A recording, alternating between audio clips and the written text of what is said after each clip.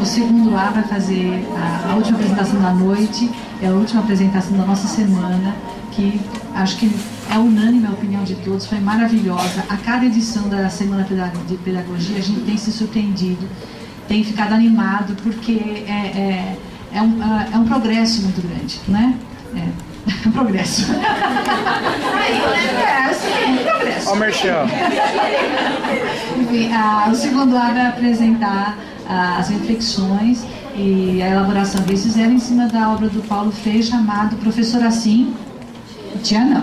Né? Então, assim, é, é muito importante que elas dão, dando uma visão uh, relacionada à questão do profissionalismo nosso, né? como professores. Por que professor assim, tia não?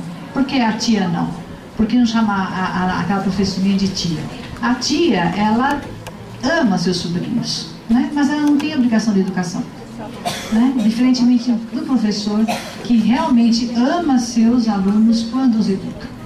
Então é importante essa amorosidade que está presente na obra do Paulo Freire, na pessoa de Paulo Freire e na pessoa de todos nós como professores.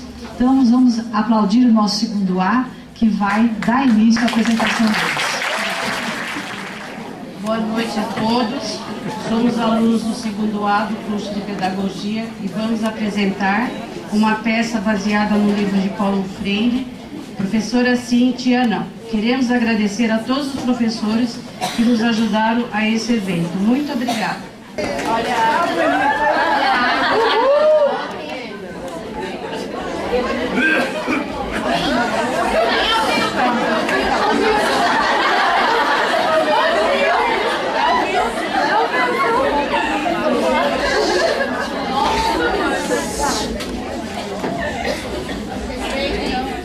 Boa noite, meu nome é Ana Maria, sou pedagoga, ou se quiserem, educadora.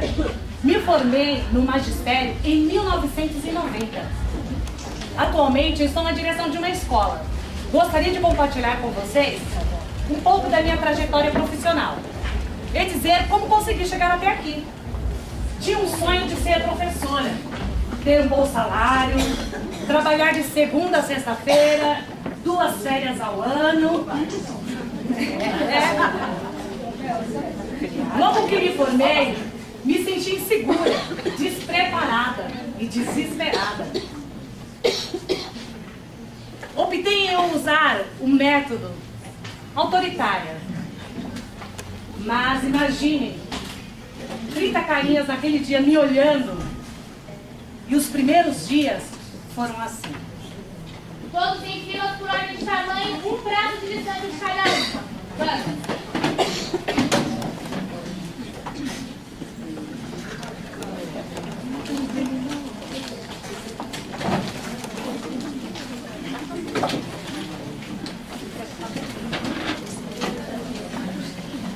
Bom dia. Bom dia. Eu sou a Tiana Maria e vou estar passando algumas regrinhas para vocês. Primeiro, não gosto de ninguém andando em sala de aula. Não gosto de ninguém andando em sala de aula. Segundo, para apontar os lápis é apontador com depósito. Fora isso, fora isso, não é para vocês andar. Para vocês se levantarem, levantem a mão antes de falar qualquer coisa. Entenderam? Sim. Uma vez por semana eu estarei passando olhando as unhas dos cabelos de vocês. Por falar nisso, já vou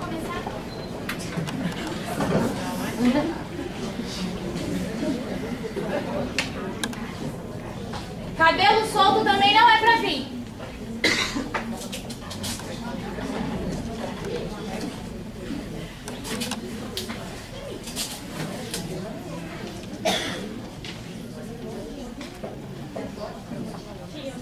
Que isso? Sua mãe não viu isso, não? Me traga aqui sua agenda. Mandaram um bilhete para sua mãe. Dê um passo atrás.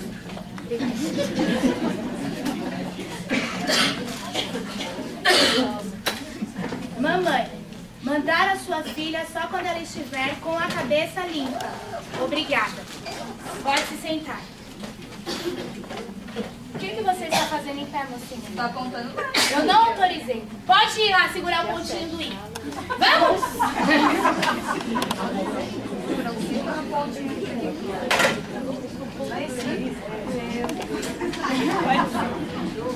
Agora a gente vamos aprender as vogais. Prestem atenção que eu não vou repetir. Professora, eu já sei. Ninguém te perguntou. Vamos lá. A. A. Mais alto, eu não tô ouvindo. A. A. É. É. I. I. Não. Banheiro é só na hora do intervalo, na hora que você entra antes de fazer a fila. De novo. A. É. É. I. I. O. O. U. U.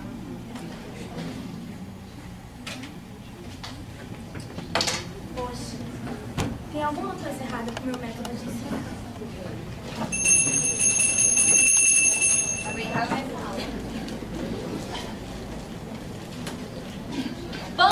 dia, crianças! Como vocês estão, meus amores? Ninguém vai me responder? Bom, dia! Ah, vocês estão bem? Passaram o final de semana bem? Estamos bem, bem. Ai, que bom que vocês estão bem, gente. Sabe por quê? Porque eu não tô bem, eu acordei morrendo de dor de cabeça, acordei estressada, enjoada. Inclusive, eu acho até que eu estou com dengue. Então eu tenho que ir no médico, tá? Então eu vou pedir, por favor, pra vocês colaborarem comigo e ficarem quietinhos, tá bom, gente? Aí, essa professora é muito Olha, eu vou passar uma atividade bem legal pra vocês, tá? Deixa eu pensar. Deixa eu pensar.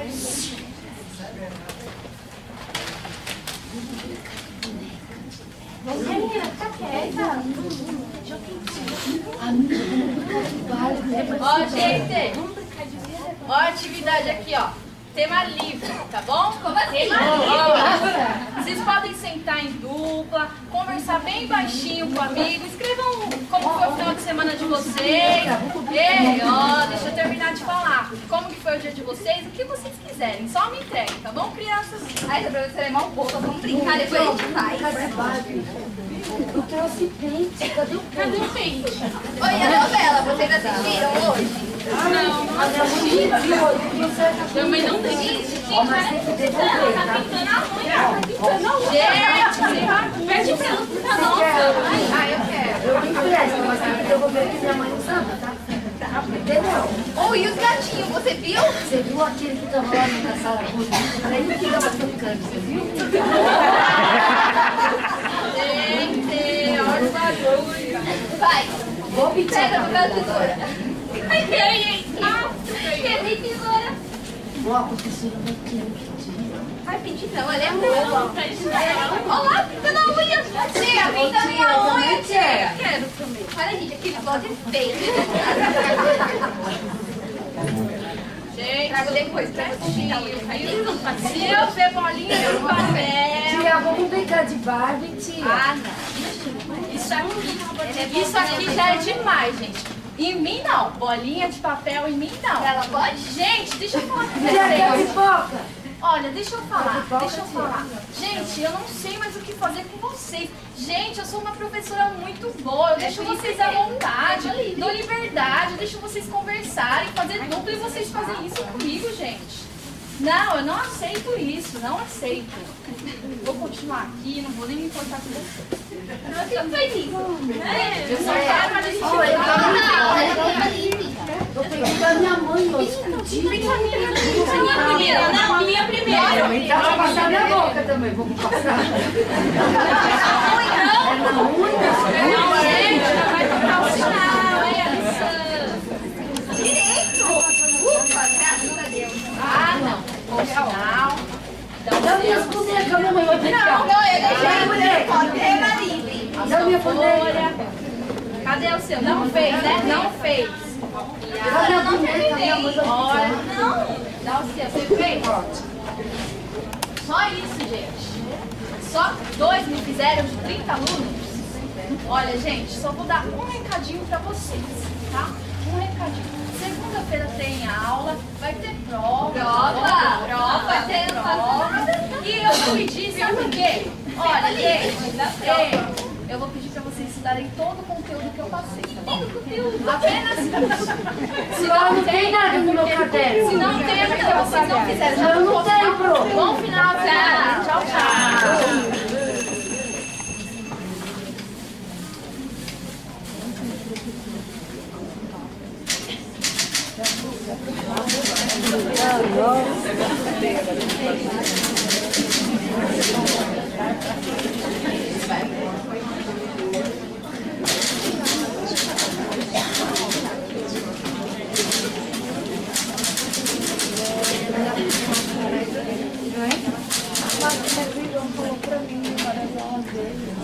um ser curioso, inacabado, incompleto. Minha intenção nesse texto é mostrar que a tarefa do ensinante, que também é aprendiz, sendo prazerosa e igualmente exigente,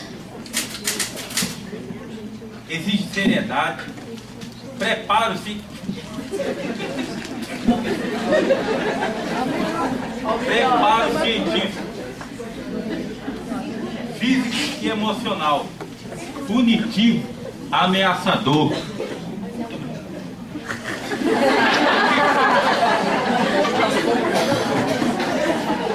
Como esperar de uma administração autoritária os sabores e dissabores da aventura democrática?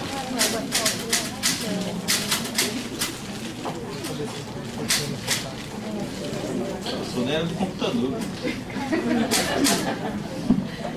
Ser professor implica a profissão, assumir a profissão enquanto ser tia, é, viver um parentesco.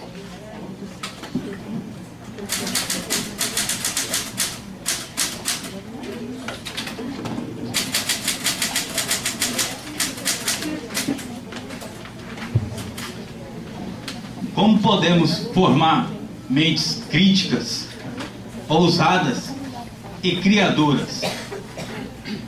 Como formar crianças livres? Ensinar não é transferir conhecimento, mas criar as possibilidades para sua própria produção ou sua construção. O educando e o educador necessitam crescer, não apenas em tamanho, mas também em conhecimento, pois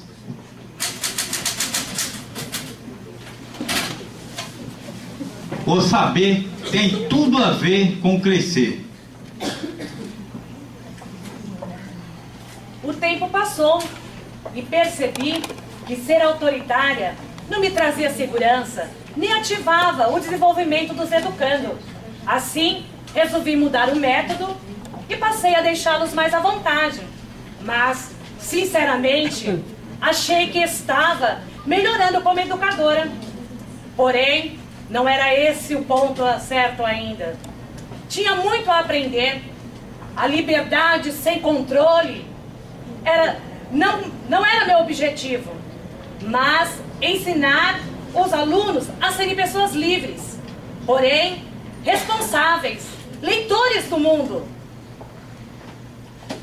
Já dizia Paulo Freire, sem curiosidade que me move, que me inquieta, quem me insere na busca, não aprendo nem ensino. Estudei bastante e percebi que é necessário que aprendemos a aprender.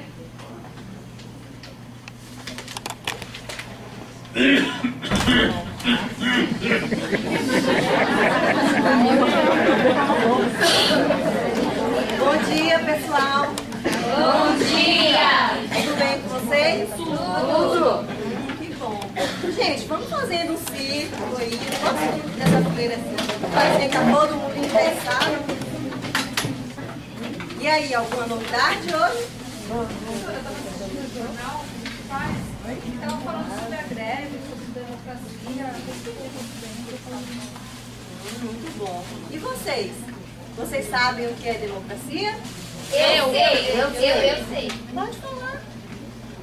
Eu acho que democracia é uma ordem vinda do presidente, professora. Não é. É do... Democracia democracia é o direito do cidadão, que é a liberdade de expressão. É verdade, eu também vi, professor, a mesma reportagem que a Ana. Os meus pais falaram que democracia só serve para trabalhar. Claro que não. Quando vemos protestos professores em greve, eles buscam ser valorizados. E nós também estamos aprendendo democracia e cidadania.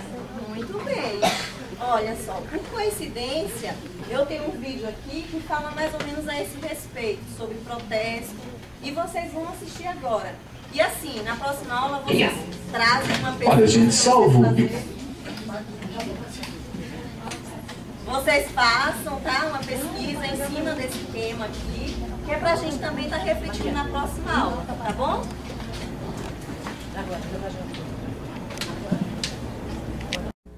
Olha, gente, salvo pequenos incidentes, os professores foram às ruas e fizeram bonito.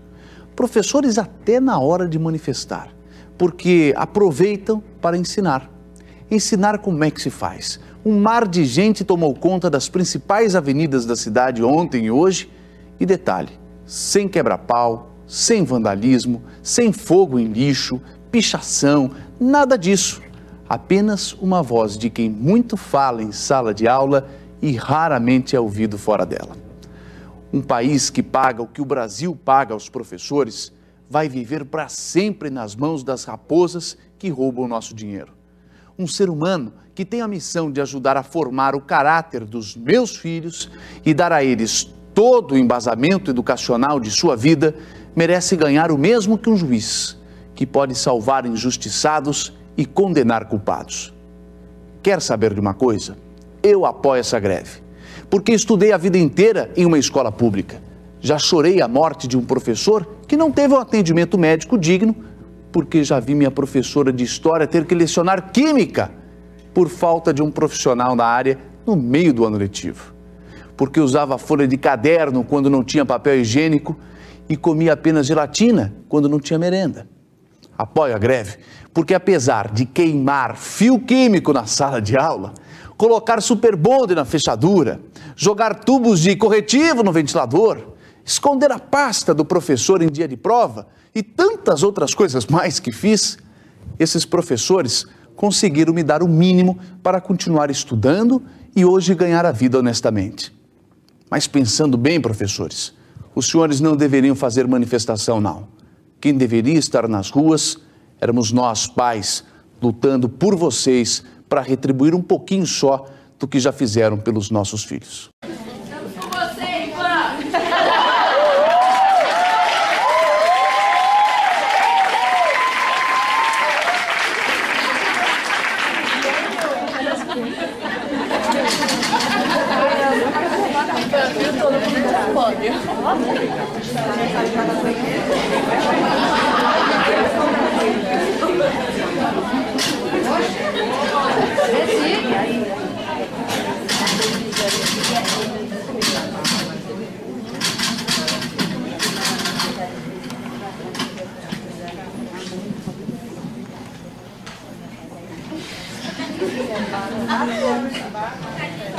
Antes de ler a palavra, temos um mundo para ler.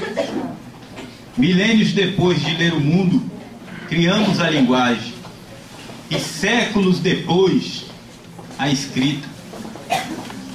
Se a educação sozinha não transforma a sociedade, a sociedade sem ela tão pouco muda.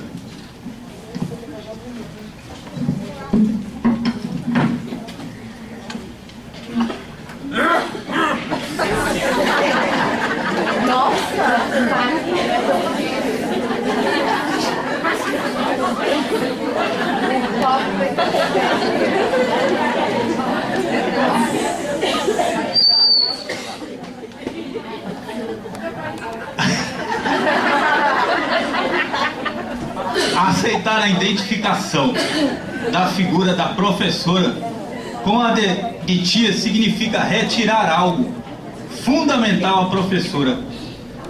Sua responsabilidade profissional de que faz parte a exigência política de sua formação séria e permanente,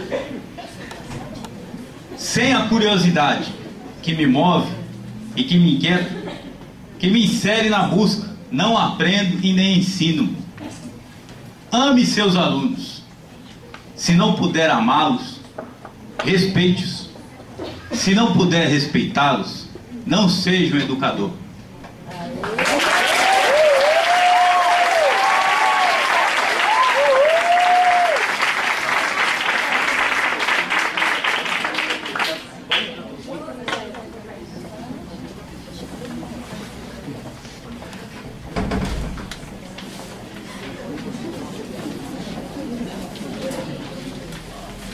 A educação não transforma o mundo. Educação muda pessoas. Pessoas transformam o mundo. Muito obrigado, gente.